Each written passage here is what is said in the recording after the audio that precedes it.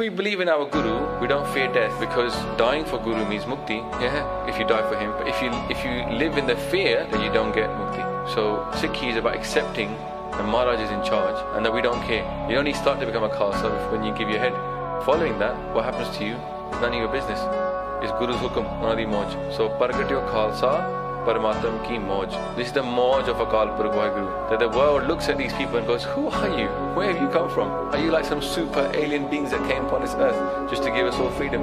We say, Yeah, Mukhanata. God made us for this reason. But really doing God's mission, not to do our mission, God's mission.